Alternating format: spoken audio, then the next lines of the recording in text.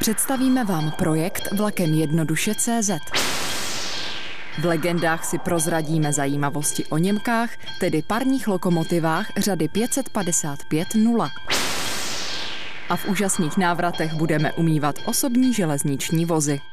Dnešní vydání magazínu Pozor vlak začínáme tady na Pražském Smíchovském nádraží, vybudovaném v letech 1953 až 1956. A to je důvod, proč jsme přijeli právě sem. V této budově se totiž nachází poslední zabezpečovací zařízení svého druhu na české železniční síti. A to jsme si přece museli natočit, než ho rozeberou a nahradí moderními počítačovými systémy. A víte co? Pojďte do míst, kam se jen tak nedostanete.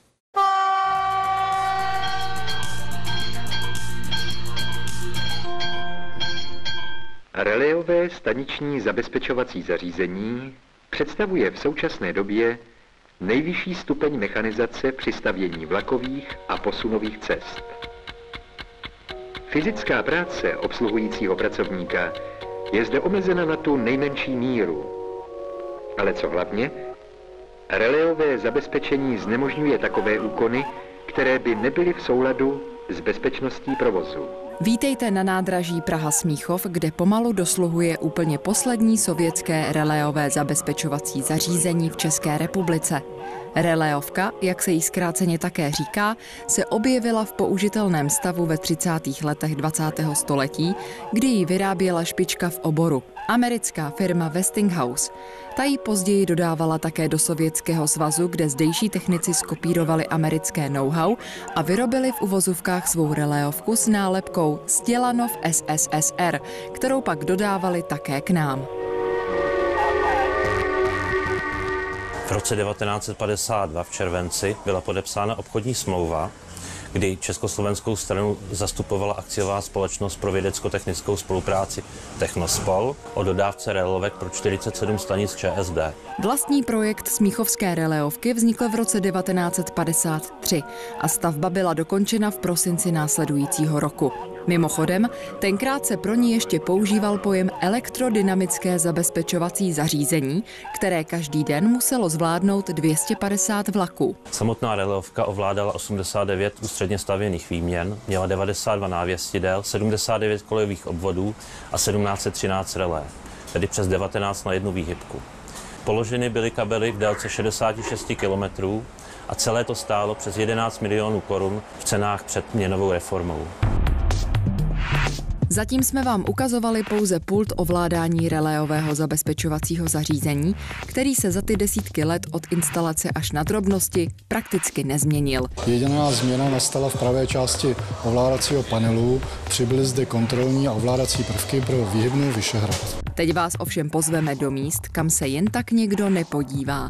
Do podzemí Smíchovského nádraží, kde se nachází reléová místnost. Za mnou je napájecí stojan, který napájí vlastně z větší části původní zařízení, které je z 53. roku, je skonstruováno z prvků relé, které jsou buď to neutrální, anebo s polarizovanou kotvou.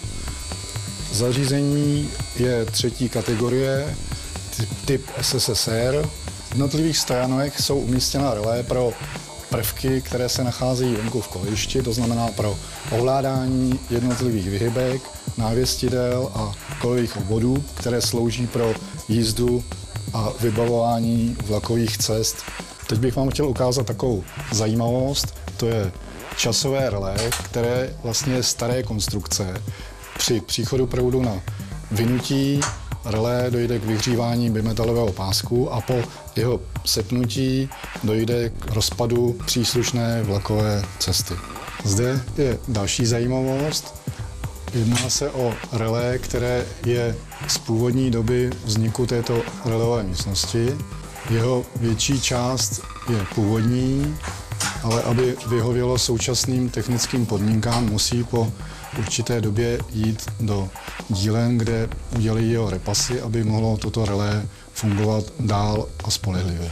Tady je otevřená skříň napájecího štítu, která vlastně slouží pro propojení venkovního zařízení s ovládacím zařízením, které je v dopravní kanceláři. Zde jsou původní kabely, které jsou zde z toho 53. roku, jak už jsem zmiňoval. Část kabelů byla nahražena novými kabely z důvodu lepších technických parametrů tohoto celého zařízení. Stojím na konci původní relové místnosti. Za mnou byla původně stěna, která musela být zbourána a mohly být přidány další prvky, aby zařízení vyhovovalo současným technickým podmínkám. Bloky slouží pro ovládání vyhybek, které jsou venku v kolejišti. Návěsní relé jsou pro světla, návěstidel. V popisu reléové místnosti, která ze značné části pamatuje rok 1953, bychom mohli pokračovat ještě dlouho. Ovšem pro základní představu by tato exkurze mohla stačit. Snad si jen připomeňme, že v roce 1953 byl kromě stavby Smíchovské reléovky také schválen první předpis pro obsluhu těchto zařízení. Novinkou byla dodnes používaná rychlostní návěstní soustava, dále přivolávací návěst, vložená návěstidla a podmínečné projetí návěstidla v poloze stůj na autobloku. V současnosti Smíchovská releovka musí denně odbavit rekordní počet vlaků za celou svou historii.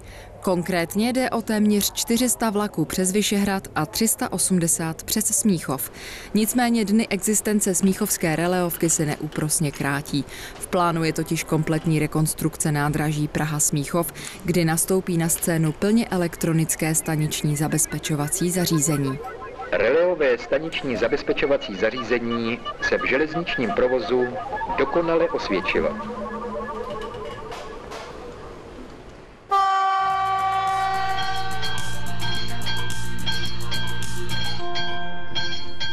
Je tu rychlý přehled událostí na železnici. Pamatujete na loňskou tragickou srážku dvou vlaků u Perninku? Ministerstvo dopravy tehdy slíbilo, že stát lépe zabezpečí regionální tratě. Jako první vybrala zpráva železnic trať mezi Havlíčkovým Brodem a Humpolcem. Promění se z tratě řízené dle předpisu D3, kdy se strojvedoucí hlásí z každé dopravny dispečerovi, na trať řízenou podle předpisu D1. To znamená, že trať bude vybavena zjednodušeným zabezpečovacím zařízením s dálkovým řízením z Havlíčkova Brodu za téměř 110 milionů korun bez DPH. Lokální tratě jsou v ohrožení. Upozorňuje na to řada odborníků na železnici poté, co poslanci hospodářského výboru poslanecké sněmovny České republiky poslali do druhého čtení nový paragraf zákona o konzervaci dráhy z pera ministerstva dopravy.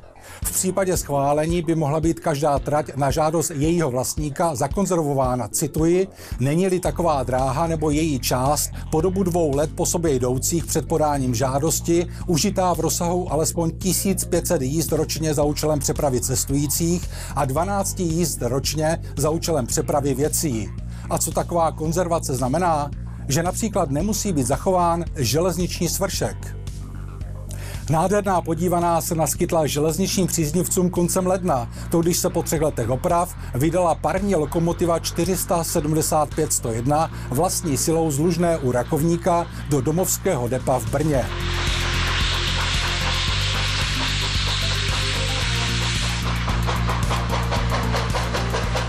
Předtím si ale musela projít náročnými opravami v centru historických vozidel v Lužné u Rakovníka.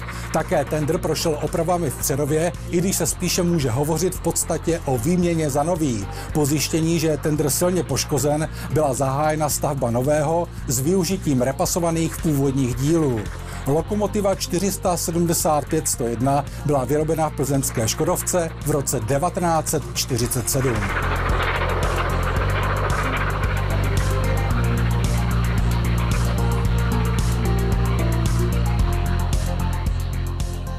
A teď si prozradíme výherce za minulou soutěž.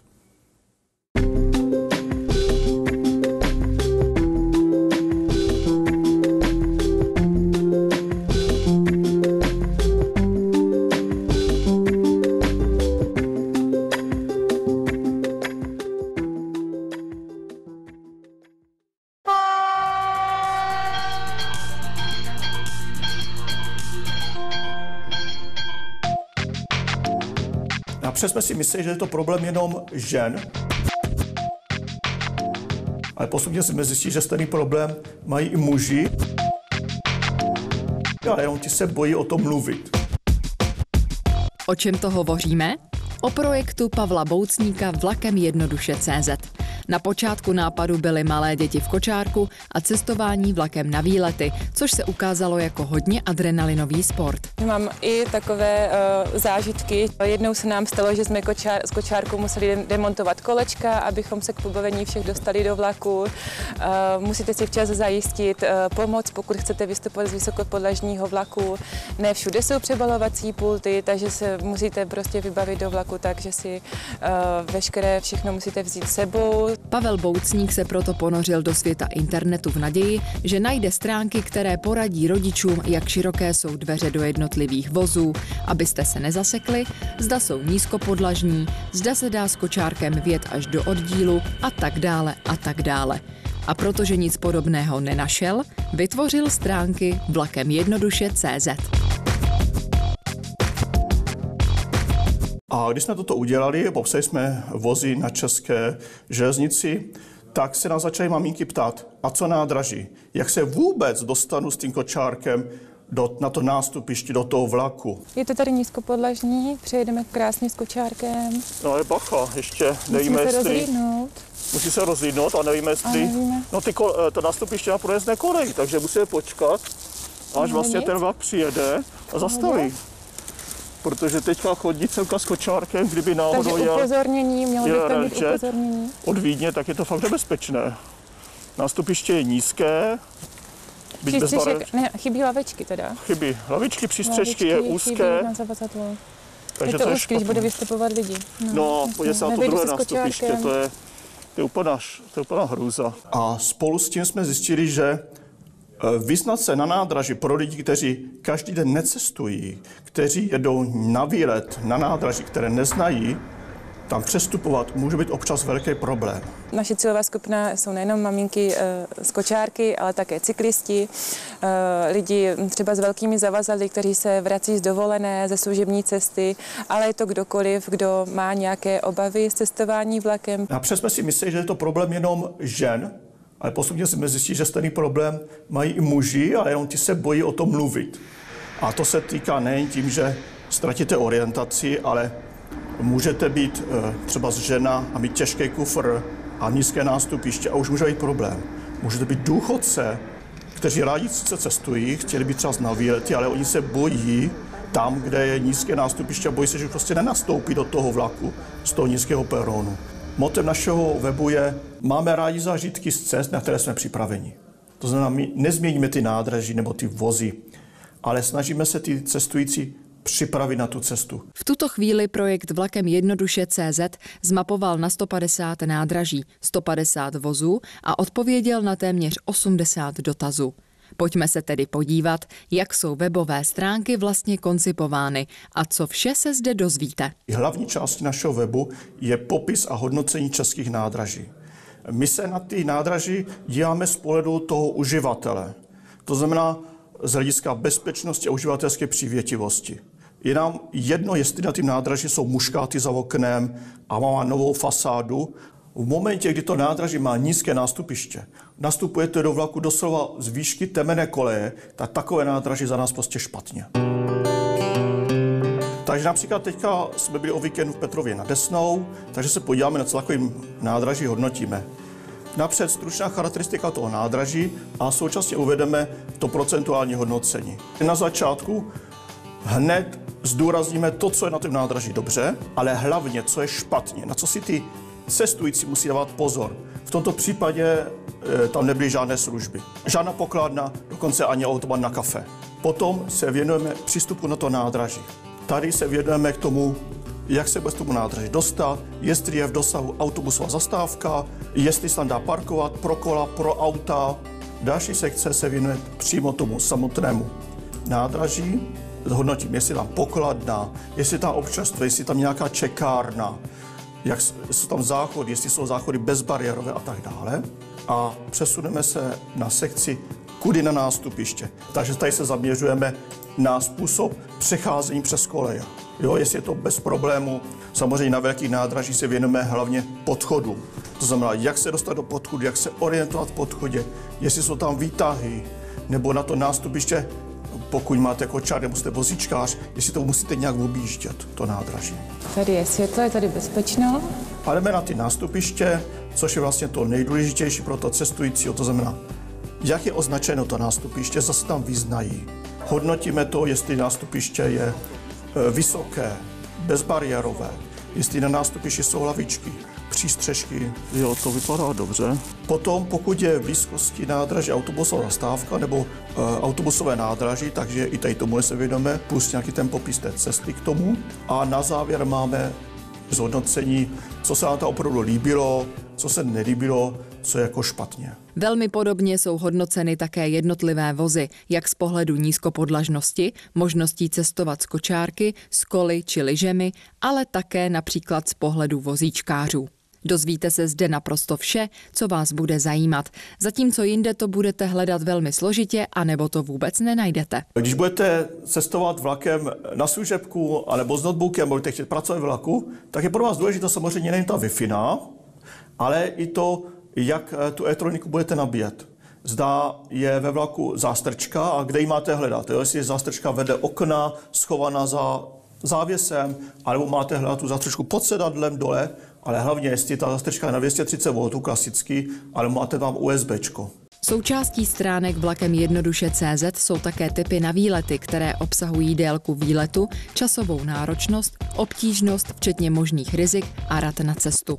A zmíníme i poradnu, v níž se můžete zeptat na cokoliv, co souvisí s cestou vlakem. Pokud vás projekt vlakem jednoduše CZ zaujal, můžete se přidat k týmu, který vás naučí, jak hodnotit nádraží, jak hodnotit vozy, ale také jak připravit typy na výlety. Vše v duchu již zmíněného mota Máme rádi zážitky z cest, na které jsme připraveni. Takový dáme procent. 60, 50. To bude tak na 60 60 60 procent.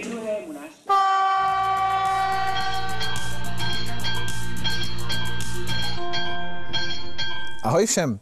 Dnes se počase opět zaměříme na parní trakci. Konkrétně si představíme zástupkyně řady, jejíž vznik je úzce spjat s událostmi druhé světové války. Řeč bude o Němkách rozšířené německé řady 52, neboli v Československu řady 555-0.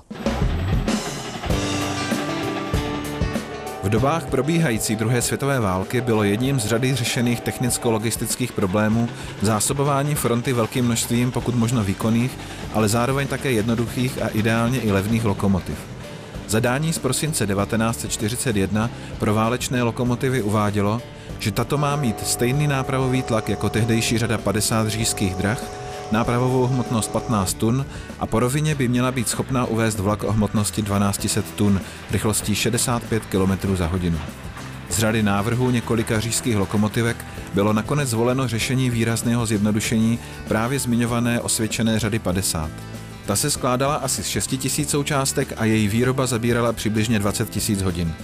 Zjednodušená nová válečná řada 52 byla postavena z asi 5000 součástí a její výroba zabírala 15 000 hodin.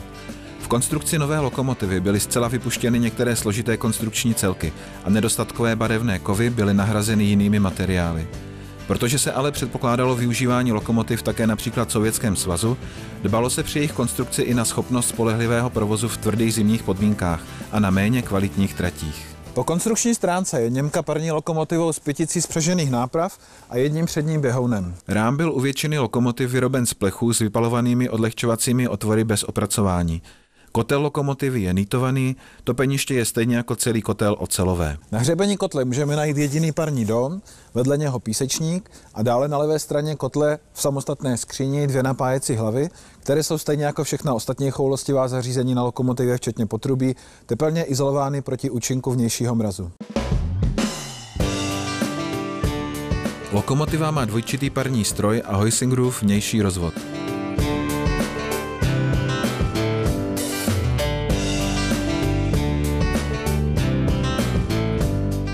Budka lokomotivy je zcela uzavřená, v jejich bocích je mimo dveře vždy pouze jediné okno. Také čelní okna jsou pro jednoduchost výroby hranatá. Spojení lokomotivy s tendrem je řešeno s předpětím, aby mohla lokomotiva jezdit maximální rychlostí i tendrem napřed.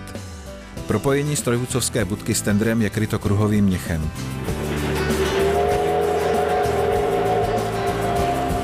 První lokomotiva nové řady 52 opustila továrnu Borsig v Berlíně v září roku 1942. Následně začaly tyto lokomotivy vyrábět téměř všechny lokomotivky v nacisty obsazené Evropě, včetně plzeňské Škodovky. Ta vyrobila 153 z celkových více než 6700 v Evropě vyrobených strojů. Správně tušíte, že s tímto počtem jde o historicky nejpočetnější vyrobenou řadu parních lokomotiv na světě. Po osvobození zůstalo na území Československa přes 150 těchto strojů.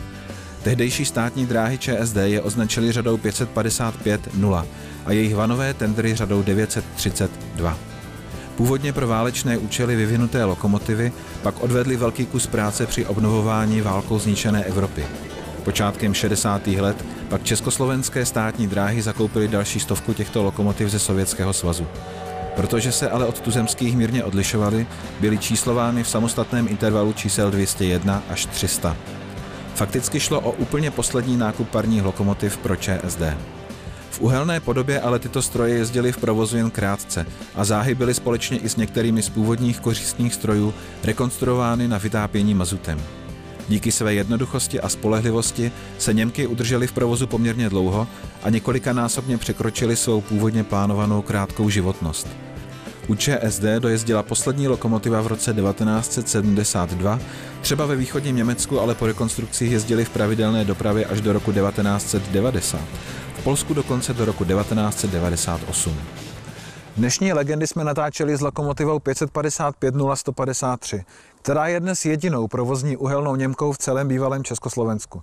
Stroj patří klubu historie kolejové dopravy a jeho domovem je depo v Turnově.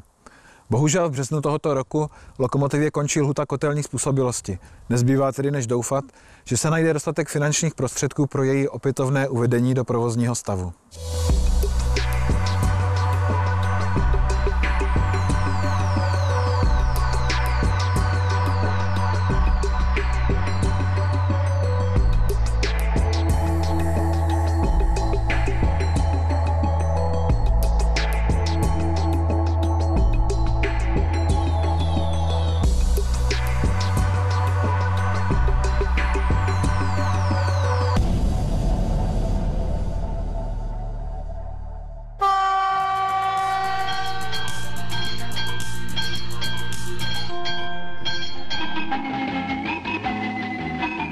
Československé státní dráhy mají obsáhlý park osobních železničních vozů, který je každý rok doplňován nákupem nových vozů zahraniční i tuzemské výroby. V průběhu šesté pětiletky byl vozový park doplněn o 1360 nových, většinou čtyřnápravových vozů. Na jejich nákup se vydala 1 miliarda 800 milionů korun. V průběhu sedmé pětiletky bude vozový park doplněn o dalších 1100 nových osobních vozů. Během 70. let minulého století se prakticky zcela obnovil park osobních vozů ČSD, především dodávkami z vagonek Budyšín a Zhořelec v NDR, kam byla v rámci Rady vzájemné hospodářské pomoci soustředěna výroba osobních vozů. Potíže s tzv. kulturou cestování ale byly stále. I když se podařilo dořešit výstavbu myček a čištění vozů, o kterém je dnešní film. Po dojezdu každého vlaku předává pracovník železniční stanice nebo přímo vlaková četa vlakovou soupravu ústně vozmistrovi. V případě závady vzniklé za jízdy se předává ještě písemný záznam vozových závad. K tomu, aby byly splněny stále se zvyšující nároky na kulturu cestování, je nutné věnovat zvýšenou pozornost i vnějšímu čistění vozů. Mechanizace čistění osobních železničních vozů je uspokojivě vyřešena jen u vnějšího čistění oken a vozových skříní. Pro tyto práce jsou používány pojízdné a stabilní umývače, které vyrobil výzkumný ústav železniční Bratislava a některá pracoviště technického rozvoje ČSD. Pojízdné umývače oken a skříní se stávají ze dvou základních celků. Vysokozdvižný vozík je použit jako nosič adaptéru, to je vlastního čistícího zařízení, s rotačním kartáčem. Pojízdné umývače jsou vhodné pro stanice s menším počtem osobních vozů. Jejich předností je nenáročná investice při výstavbě čistících kolejí a nezávislost na trvalém posunu čistěné soupravy. Stabilní umývač jednoduchý je určen k vnějšímu čistění oken a skříní vozů čistou vodou. je doplňkovým zařízením ke stabilnímu umývači halovému. Používá se ve stanicích, kde je k provoznímu ošetření přistavován velký počet souprav. V provozu je pouze v období, kdy vnější teplota neklesne pod nulu. Podobně pracuje i stabilní umývač kombinovaný, u něhož se používá čistící horstoku. V tomto případě je čistícím prostředkem kyselina šťavelová. Po zimním období, kdy jsou tyto umývače mimo provoz, je nutné koncentraci čistících prostředků zvýšit. ČSD instalovali v roce 1961 první dvě myčky osobních vozů. To jsme ale už viděli v 63. díle Pozor vlak. V první polovině 70. let se začala používat čištění místo saponátu kyselina, která se lépe neutralizovala v odpadní vodě a měla i další výhody. Pro celoroční čistění skříní a oken vozů s použitím čistících prostředků je určen stabilní umývač halový. Je zabudován v hale, která je v zimě temperována na teplotu kolem 5 stupňů Celzia. V letních měsících jsou v činnosti jen mycí ústrojí. V zimním období jsou kromě mycích ústrojí v provozu také ofukovací a osušovací zařízení. Celý proces mytí je řízen ze zvýšeného stanoviště.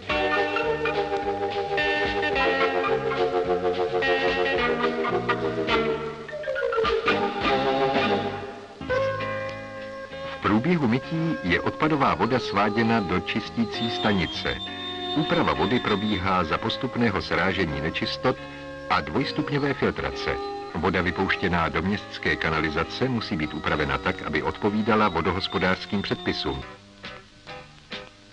K vnějšímu čištění skříní a oken vozů v malých stanicích jsou určena vysokotlaká zařízení. Pracoviště pro ně musí být vybaveno přívodem vody a elektrické energie a musí být odvodněno. Zařízení je uloženo na podvozku a jeho hlavní částí je vodní vysokotlaké čerpadlo s možností přisávání čistícího roztoku.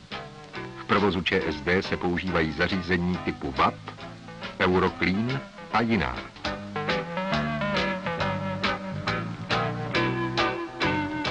Zařízení je schopno vyvinout tlak vody od 50 do 150 barů podle typu.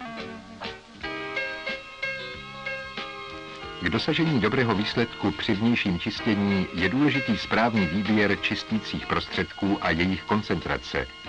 Spolana 2942 NP je hustá tekutina bílého zabarvení. Koncentrace roztoku se volí podle stupně znečištění v poměru 1 ku 1 až 1 ku 5 dílům vody. Kyselina šťavelová je bílá krystalická látka, dobře se rozpouští v teplé vodě. Dovolená koncentrace čistícího roztoku je až do 6%. Na strojní čištění oken se používá roztoku jaru o koncentraci 1%.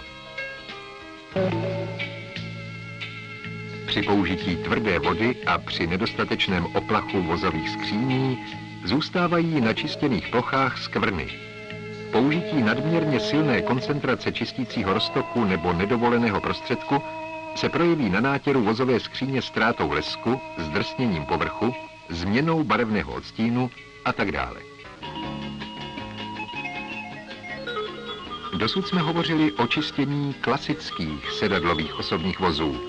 Čistění skříní a oken speciálních vozů zajišťují závody ČSD, jídelní a lůžkové vozy. Po dohodě s vozovým depem provádějí strojní čistění za úhradu na fakturu. Ucelené soupravy speciálních vozů členských států RVHP čistí vozová depa bezplatně. Pro udržení vnější čistoty vozů na dobré úrovni je třeba zaměřit se na výstavbu dalších umývačů. Celoroční provoz zajistí budování halových stabilních umývačů v rozhodujících železničních uzlech. Čistota vozových souprav se tak stane nedílnou součástí kultury cestování po železnici. Kultura cestování je skloňována dodnes. V provozu jsou ještě i některé z vozů, které jsme viděli ve filmu. Příště budeme ručně stavět výhybky.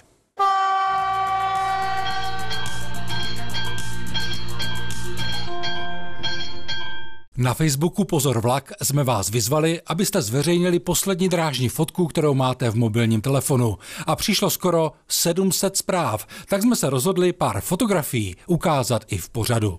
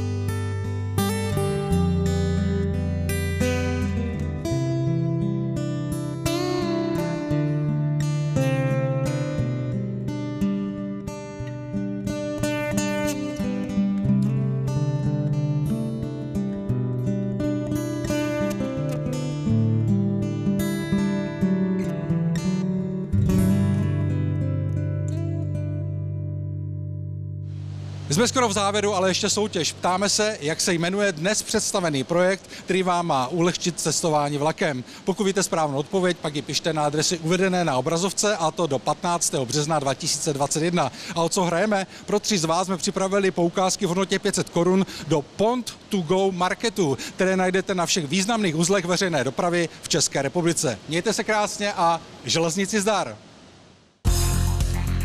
Dnešní vydání magazínu Pozor vlak začínáme tady na Pražském smíchu... Dnešní vydání magazínu... Jednou. Dnešní vydání... Dnešní vydání magazínu Pozor vlak začínáme tady na Pražském Smíchovském nádraží, e, vybudovaném, ano, ano, ano, ano, ano, ano. Tak znovu. Na hřebení kotle můžeme najít Ještě jednou. Na hřebení kotle můžeme najít jediné... Tam toho můžeme najít tolik, že člověk vlastně neví, o čem povídá.